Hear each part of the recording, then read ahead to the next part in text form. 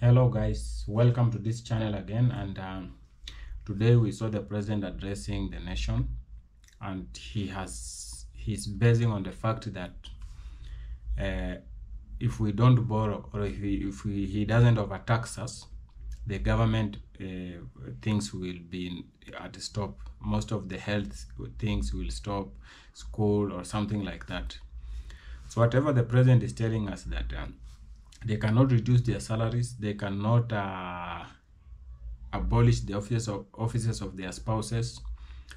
They cannot reduce the the budget of their state houses or the offices of their wives or whatever that kind of things. They cannot curb corruption to so that every shilling should count in whatever they are collecting as revenue or whatever they are borrowing so he's telling us that if he, if he doesn't borrow i think the government will not be able to do a b c d blah blah blah. I think the president is missing a point. We are seeing people flossing with watches of 20 million shillings shoes of 1 million shillings and such kind of things. People are buying helicopters in his government within just a few months since they were elected.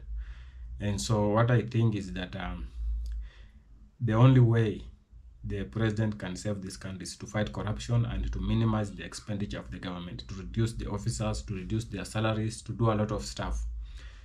So that the money that we have the little we have should be able to manage whatever we can do. We cannot chew more than we can swallow. You understand? So reduce the expenditure do whatever. Whatever is telling us i think his speech is very annoying guys. You just watch for yourself. Watch the speeches there and uh, remember to subscribe to this channel for more videos.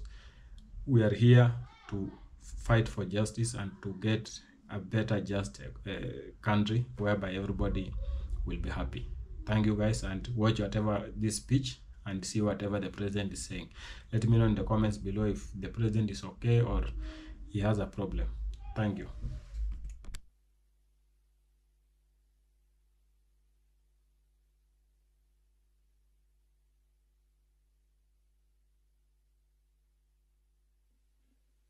afternoon, ladies and gentlemen. Fellow Kenyans, the last two weeks have been a difficult time for us as a country where Kenyans have regrettably lost lives, many have been injured, property destroyed, and our institutions, especially constitutional institutions, attacked. Once again, I extend my deepest condolences to those who unfortunately lost their lives. One life, as we all know, lost is a life too many. To the mothers, fathers, siblings, relatives, and friends of those who lost their lives, my deepest sympathies and condolences to you all. Equally, to the many others who are injured and recuperating, I wish them quick recovery. The government of Kenya will support all those who've lost their lives and those who've been injured. Despite all this, as a nation, we are finally discussing issues.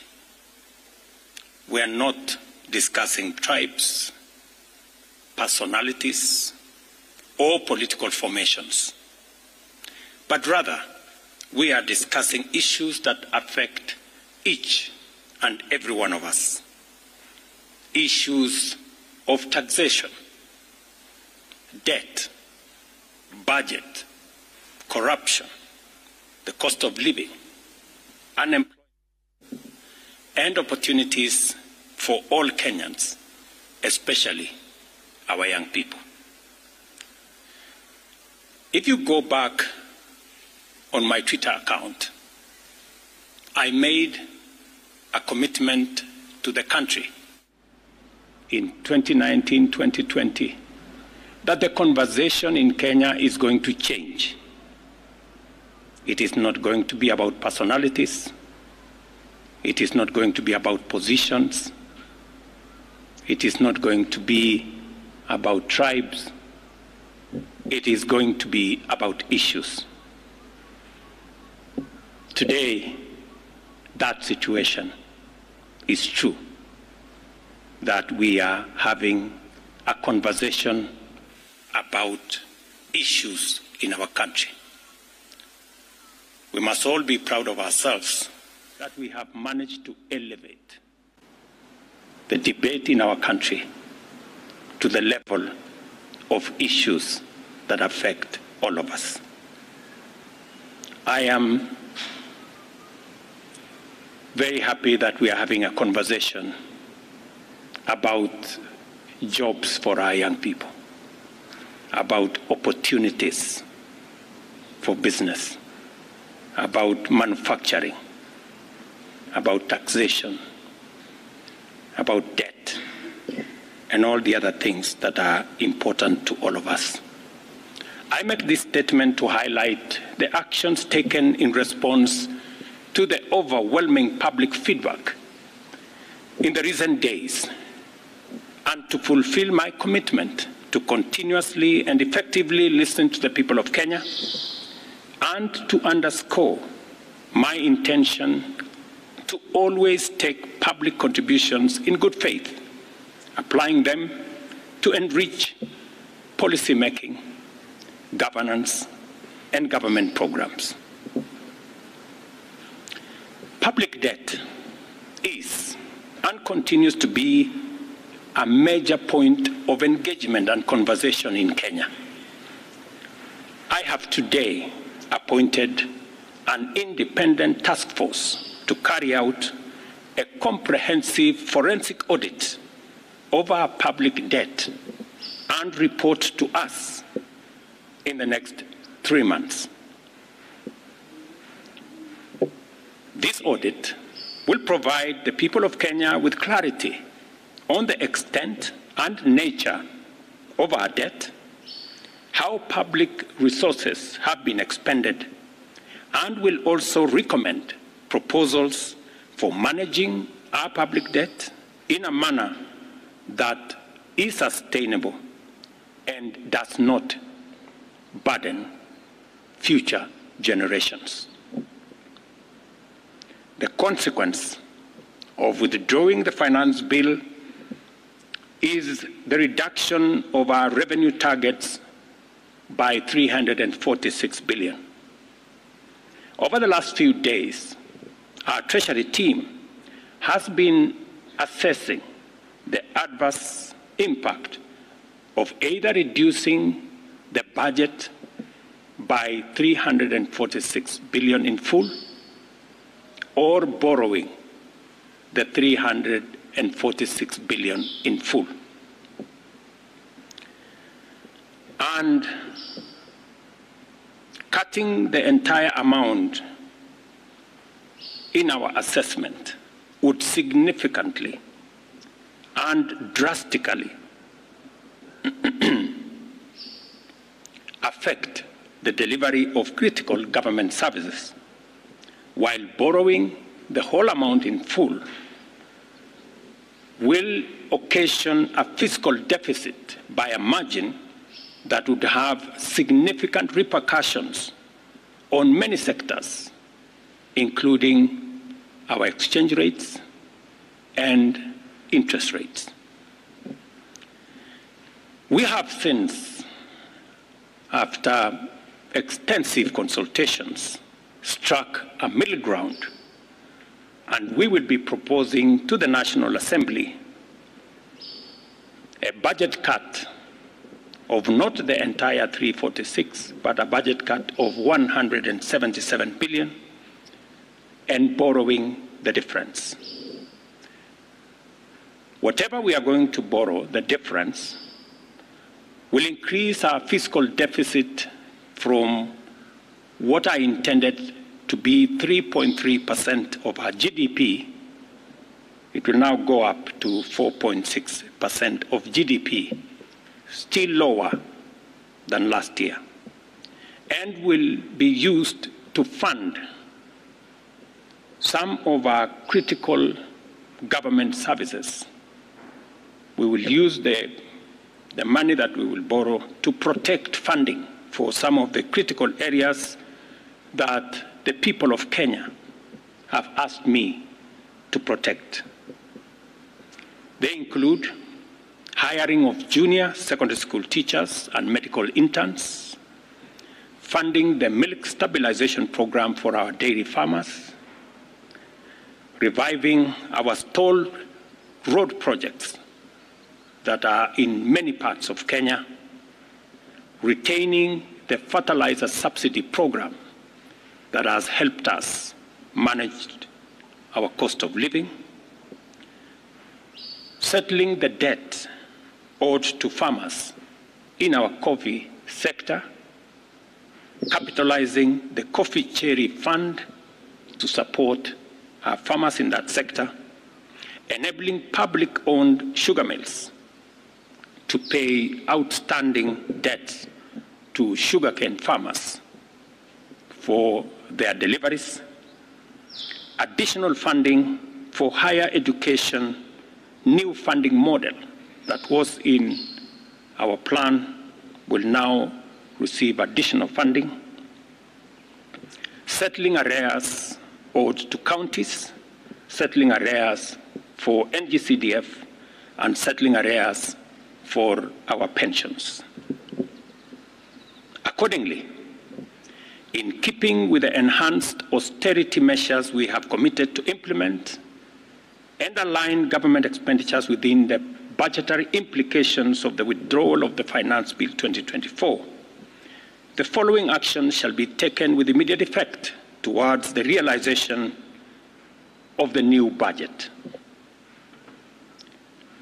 47 state corporations with overlapping and duplicating functions will be dissolved, resulting in the elimination of their operational and maintenance costs, and their functions will be integrated into the respective line ministries.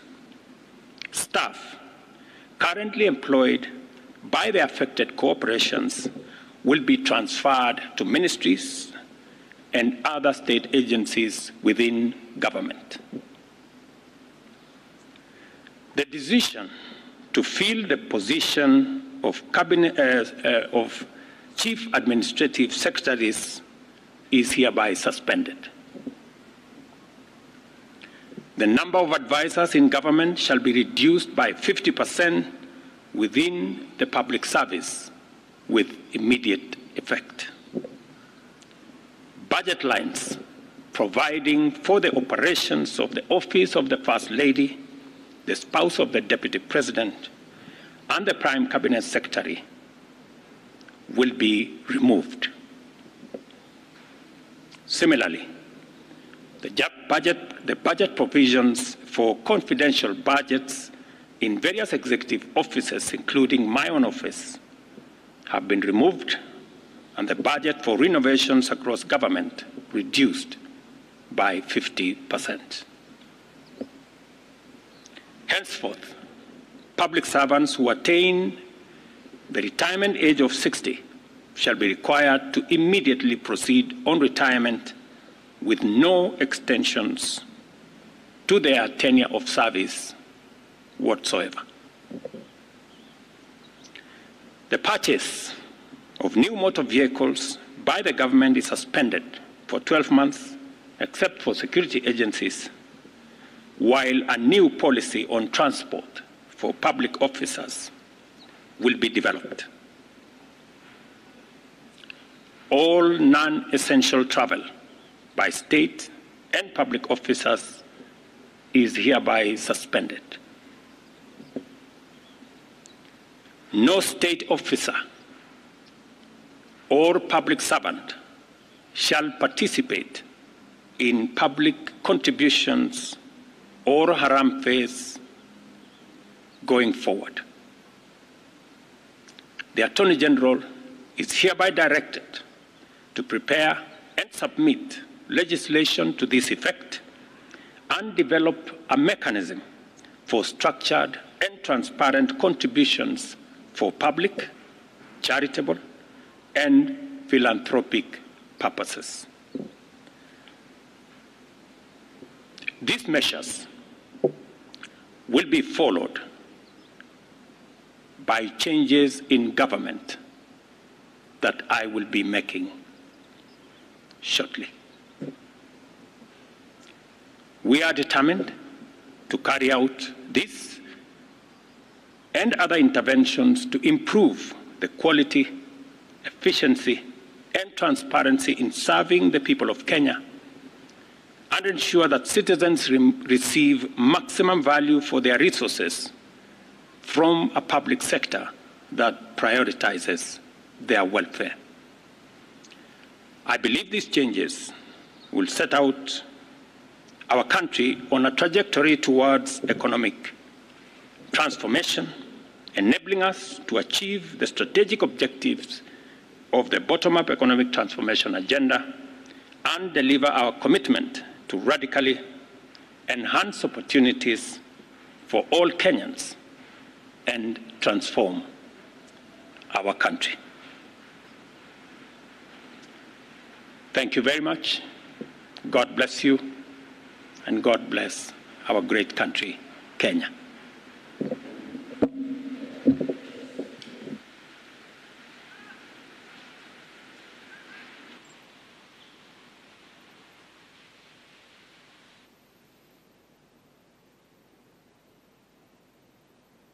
Naam, hiyo ni hotuba ya Rais Ruto kutoka ikulu ya Nairobi ambapo